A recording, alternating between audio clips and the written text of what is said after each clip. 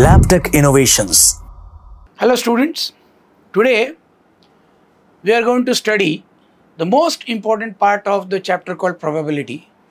There are certain theorems in probability and we are going to cover those theorems. Actually there are three theorems. One is called the addition theorem. Second is called multiplication theorem. And the third one is called Bayes theorem. Now, both these, all these theorems have a very special place in the theory of probability. So, I am going to cover this entire topic in three different lectures. The first lecture will be only for addition theorem, second lecture will be only for multiplication, and third, theor third lecture will be only for Bayes theorem, right? So that it will be easier for you to grasp and then go to the next lecture, okay? So once you have finished the first lecture, think about it, solve some problems. Then second lecture, think about it, solve some problems. And third lecture, think about it and solve some problems. I again and again advise you that do not go for the solutions even if it is available anywhere. Try to do the problem on your own as much as possible. Struggle with the problem. Deal with the problem. You know, uh, find out some, uh, I mean, try, go to your wits end to solve the problem. And if you cannot, then go for the solution. The result will be amazing.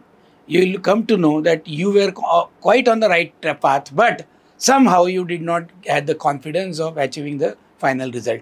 That will create a lot of confidence in your methodology and your preparation. Okay. So my advice is don't go for the solution immediately. Try to do it on your own try to develop your ideas and struggle with the problem and doesn't matter how much time it takes you know.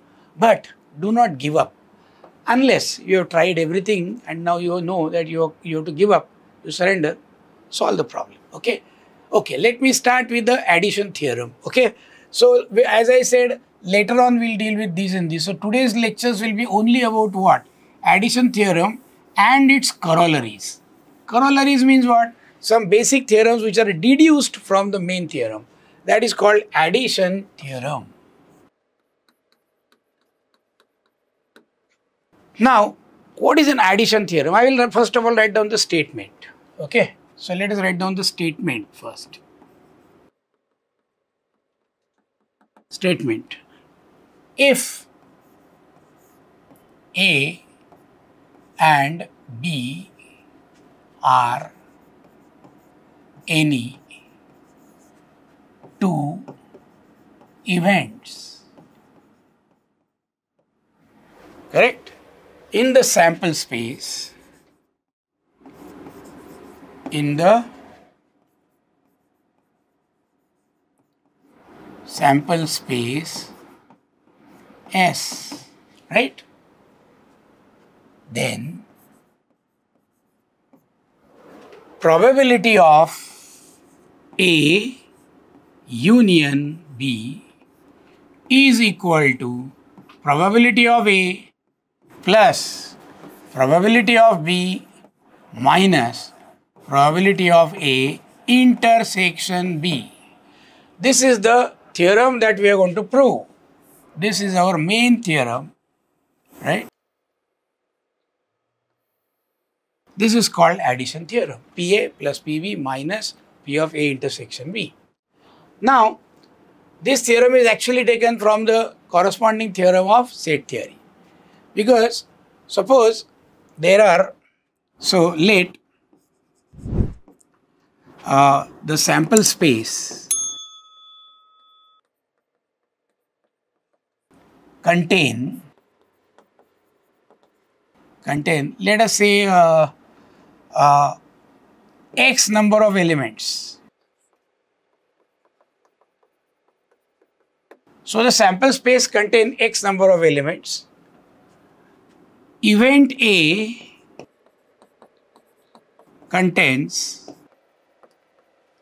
let us say, n number of elements. Event B contains m number of elements.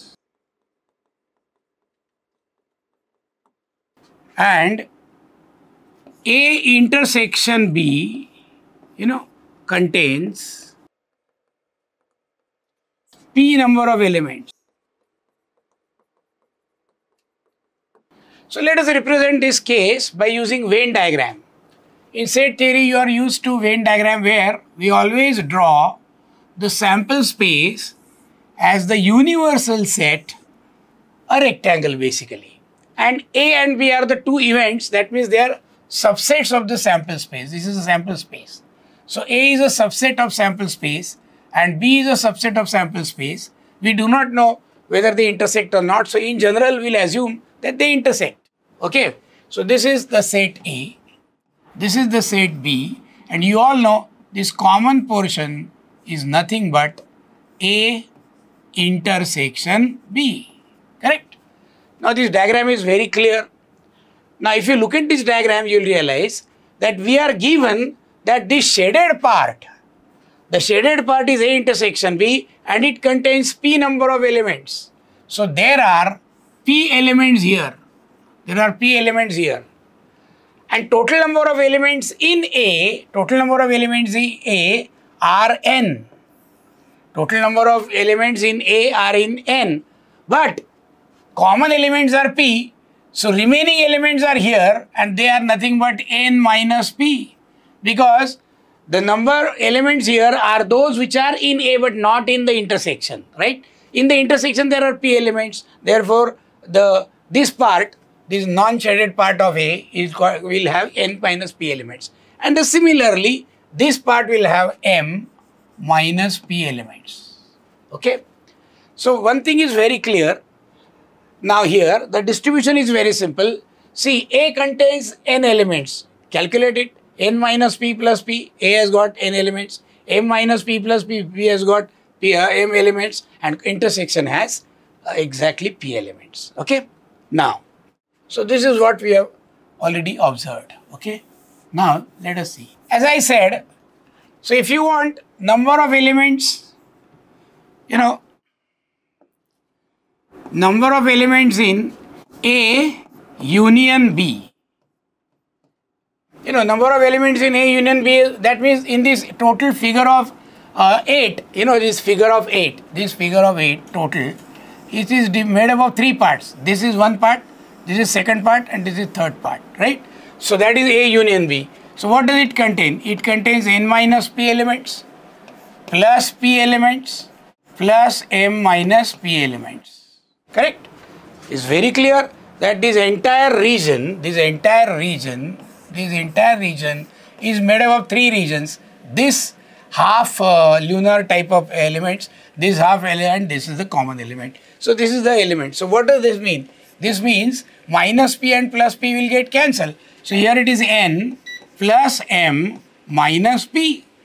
Correct? So number of elements in A union B is n plus m minus p. But that is nothing but number of elements in A plus number of elements in B minus number of elements in A intersection B. Correct? So this is quite easily established here. Okay. But we want to be, we want uh, to convert them into probabilities. Probabilities means what? The number of elements in an event divided by number of elements in the uh, sample space. So sample space as we have assumed contains x elements. So therefore probability of A union B will be equal to what? Number of elements in A multiplied divided by number of elements in sample space plus number of elements in B divided by number of elements in sample space minus number of elements in A intersection B divided by number of elements in sample space. Right? Which means this is equal to probability of, you know, A, this is probability of B and this is probability of A intersection B. So we have proved our addition theorem. Okay? So addition of theorem says that if you want to find out probability of A union B, then you will have to first of all find the probability of A, probability of B, add them, but from them you subtract probability of A intersection B. But this theorem has got many corollaries and those corollaries also we'll study regularly. So corollary number one, C O double R number 1. What is the corollary number 1? If A and B are disjoint, if A and B are mutually exclusive sets, mutually exclusive, exclusive set. I mean, sorry, events, not set, because we are we must write in the language of probability. Events. Suppose there are mutually exclusive events. Now you understand mutually exclusive event means what? The A intersection B contains no elements at all. It is phi. So number of elements therefore in A intersection B will be 0. Correct? So in case of mutually exclusive sets, events, so number of, if A and B, A and B are, A and B are mutually exclusive, mutually exclusive, then they have nothing in common, which means A intersection B is empty. That means number of elements in A intersection B is what? 0. Correct? So therefore, probability of A intersection B is what? 0. Correct? So therefore, applying this theorem, so what will happen to this theorem now? Therefore, probability of A union B is equal to probability of A plus probability of B, probability of B plus probability of B minus probability of A intersection B. But that means probability of A plus probability of B minus 0. So if the events are mutually exclusive, then probability of A union B is nothing but probability of A and probability of B. Correct? So this corollary we have proved. Okay? This is one corollary. Second corollary of this, this is a corollary of the corollary. Now you know that if I take a set A, if A bar is complement, complement of A, you understand the concept of complement. Complement means if this is sample space, this is A, this outside part is called complement. So this is A, this is A complement. Okay. So the elements which are not in A but they are in sample space is called A complement. So entire sample space, sample space S is made up of what? Because either the elements are in A or not in A. So that means A union A dash. A dash or I'm sorry, A, I'm using a notation A bar. Okay. So A union A bar. Okay. A bar means those elements which are not in A. So any element in sample space is either in A or not in A. Right. So therefore probability of S is nothing but probability of A union A bar. Okay. That means according to our theorem probability of A plus probability of A bar minus probability of A intersection A bar. Correct? Now, but A intersection A bar is what? There cannot be any element which is in A which is not also in A. Therefore, there are no elements here. So, according to our earlier uh, conclusion, this means probability of S is equal to probability of A plus probability of A bar. But probability of S is always 1, right? So 1 is equal to PA plus PA bar. This gives us a very important result that probability of A bar, complement of A, is 1 minus probability of A, right? So this is our second corollary. Correct? So P of A bar is equal to 1 minus probability of A. Now, let us take a third corollary. So this is corollary 2. Actually, this is corollary 3, sorry. Now, let us take the corollary number 3. So, we are going to extend our theorem and we are going to arrive at corollary number 4. Corollary 4 is like this A union B union C is equal to probability of A plus probability of B plus probability of C uh, minus probability of A intersection B minus probability of B intersection C minus probability of C intersection A plus. Probability of A intersection B, B intersection C, probability of C intersection A plus probability of A intersection B intersection C. Now such a big statement is there. So you will be wondering how this sentence, but actually it's nothing but a common sense. It's nothing but common sense. I'll show you one example and you'll come to know why it is like this. Okay. Just imagine there is one village, you know, this is the village. Okay.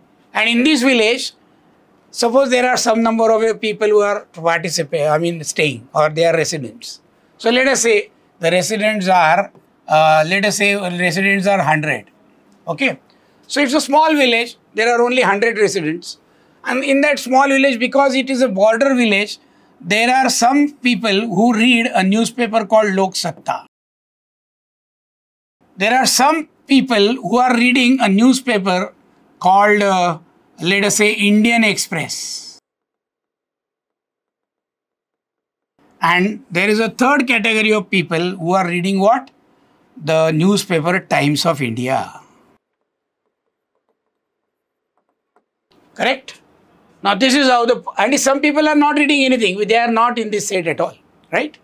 So therefore, out of 100, let us assume that there are say, uh, uh, uh, say uh, five people who are reading what? All the three papers. Then there are uh, say 10 people who are reading Lok Satta and Indian Express. So let us call it 5. So this is 5, this is 5 and here there are some 7 elements. So 5 plus 5, 10 and seven, uh, 7 and then only Lok Satta reading people are 5.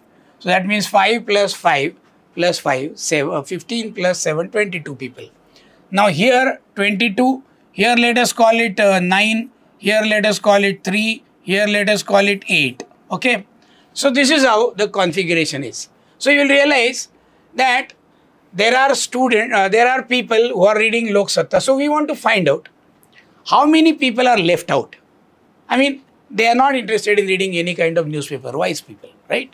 So they should be counted, right? So now let us find out how many people are reading Lok Satta. Number of people reading Lok Satta, NL. That is addition of all these three, right? So that is 5 plus 5 plus 5, 15 plus 7. 15 plus 7 is 22. So there are 22 people who read Lok Satta. Number of people who are reading Indian Express. So let us call it NI. How many are there? 5, 5, 10, 10 plus 3, 13, 13 plus 9, 13 plus 9, again it is 22. Okay, fine. So how many people are reading, you know, Times of India? Times of India, 5, 15 plus 3, that is 18, right? 18 plus 8, 18 plus 8 is 26. So there are 26 people who are reading what? Times of India. Now let us say, I want to find out number of people who are not reading anything, right? So number of people who are not reading anything will be 100, total people are 100, right? Minus, suppose I subtract all of them, that means number of people who are reading Lok Satta plus number of people who are reading Indian Express plus number of people who are reading Times of India. Correct? Now, suppose I add all these three, what happens is those people who are reading Lok Satta and Indian Express, they will come in this list as well as in this list. That means they will be subtracted twice. But they need to be subtracted only once, isn't it? So, therefore, they will have to be added, correct? So, n minus this, okay? So, now,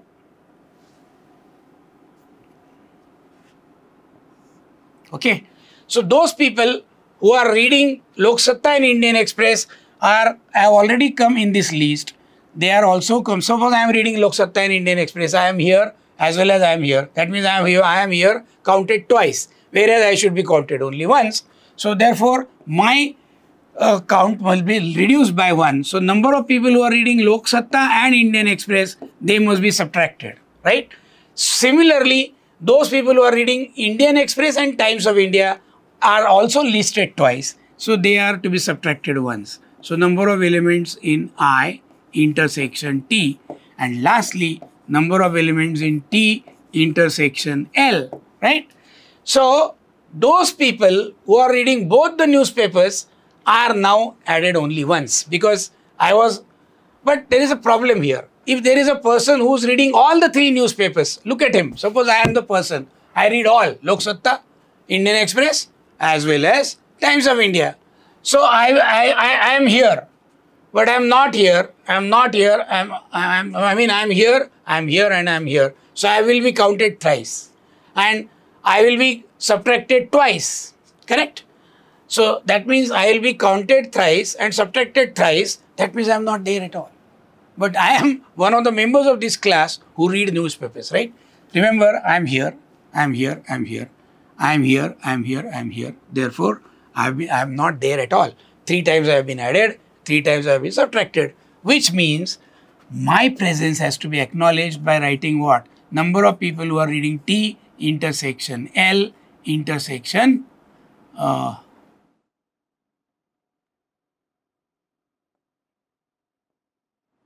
T intersection uh, L intersection I, correct? So I should be added, correct? Now you will understand one thing that that means you will have to take count of all these things. So this is what, if you divide these NL, NI by total number of sample space, that will give you probability theorem, okay? So suppose that means the probability of, so this means what? Number of, so 100, that is number of elements in sample space is equal to 100, you know, minus this NL plus N uh, I plus NT minus N L intersection I minus n i intersection t minus n t intersection l, right?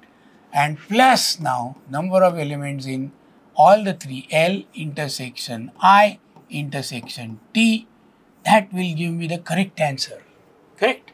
So if I want to reduce this whole thing into probability, then I'll have to divide by ns, correct? So therefore ns divided by ns, right? will give me here 1 and here it is number of NL upon NS. So everywhere if you divide by NS, it will become probability and that will give you the required theorem. Probability of A intersection B intersection C. So this is one way of looking at the theorem.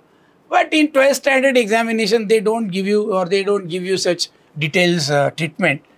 So I will give you the standard proof for this, let us say. What is the standard proof? Standard proof is very easy. Let us see. Standard proof. Let us take.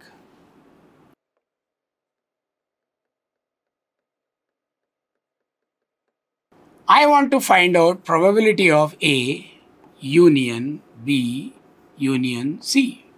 So I will say let B union C, let it be called L. B union C, let it be called L. B union C, this set, let us call it L, which means this implies probability of what? A union L, correct? Now we can apply our addition theorem here. So probability of A plus probability of L minus probability of A intersection L, correct? Because now there are only two sets, but L is B union C. So that means probability of A plus probability of what? B union C minus probability of A intersection B union C. Oh, So now we are free to apply the theorem again, right? So therefore this is equal to probability of A plus probability of B plus probability of B intersection C minus probability of uh, probability of B, probability of uh, A, probability of B, probability of, uh, sorry, probability of B and I want to write here probability of, now I want to apply PB plus PC minus P of B intersection C. Probability of B intersection C minus probability of. Now look at this carefully. There is a distributive law in case of union and intersection. So this intersection is distributive over union. That means I can distribute A intersection on B as well as C and I will take the union. That means this law is A intersection B, ना? intersection B and so this is A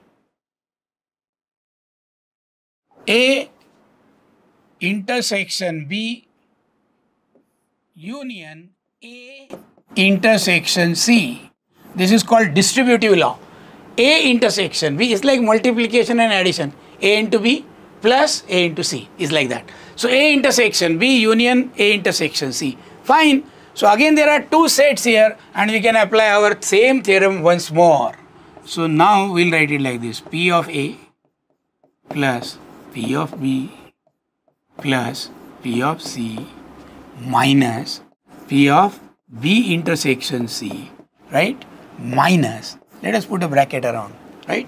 So now this is like one set, another set. So that is probability of A intersection B plus probability of B intersection C minus probability of A intersection B intersection A intersection C.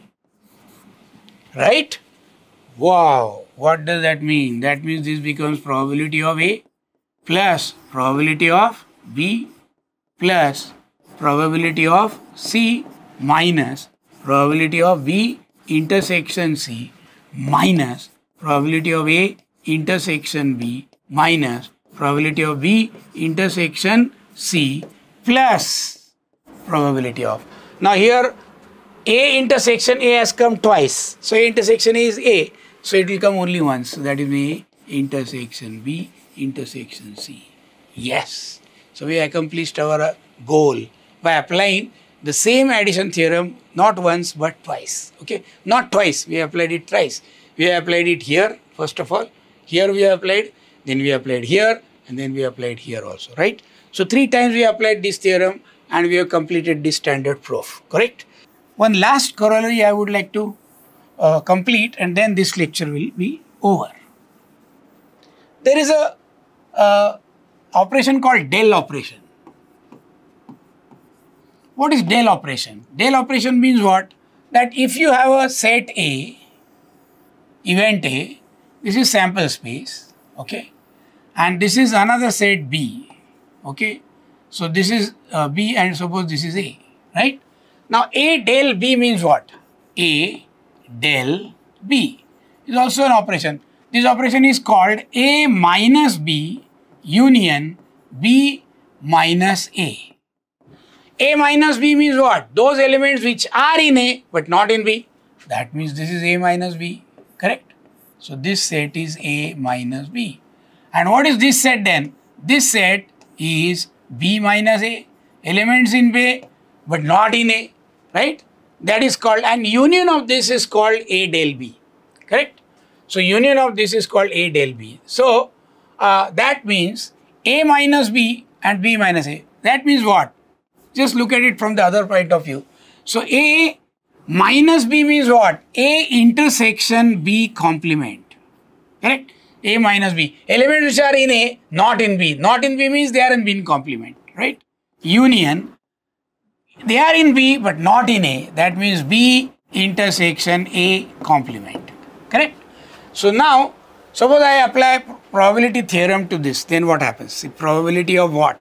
Probability of A intersection B bar, right? Union B intersection A bar. Correct? So this is what I want to find out. Okay. Now according to our theorem, this is equal to what? Probability of A intersection B bar plus probability of B intersection A bar minus probability of A intersection B bar intersection B intersection A bar. Correct? This is what we get. Okay. So probability of A intersection B, probability of B intersection, sorry, uh, probability of uh, A intersection B bar.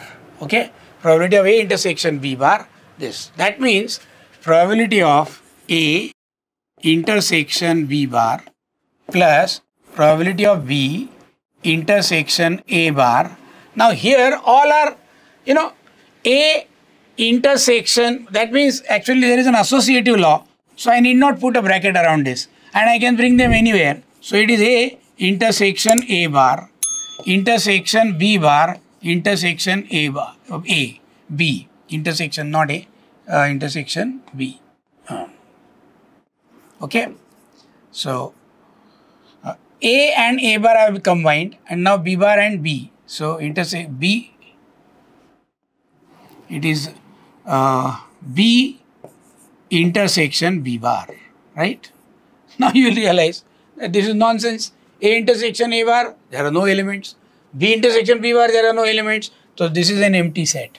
So this uh, disappears completely, right? So therefore, this is nothing but probability of A intersection B bar plus probability of what? B intersection A bar. Correct? So this is one of the corollary. Okay. So now this is the del operation. So probability of A del B is equal to probability of A intersection B bar plus probability of B intersection A bar. Okay. So now we will do the next theorem in our next lecture. Remember what we have done. We have done a very simple theorem probability of A union B is PA plus PB minus P intersection A intersection B.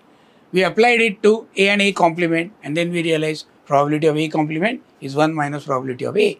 Then we applied it to three sets PA union B union C, PA plus PB plus PC minus A intersection B, B intersection C, C intersection A plus A intersection B intersection C and then lastly we applied it to a del operation. Okay. So that should be the correct answer. Okay. So that ends our this lecture. Okay, fine. Thank you.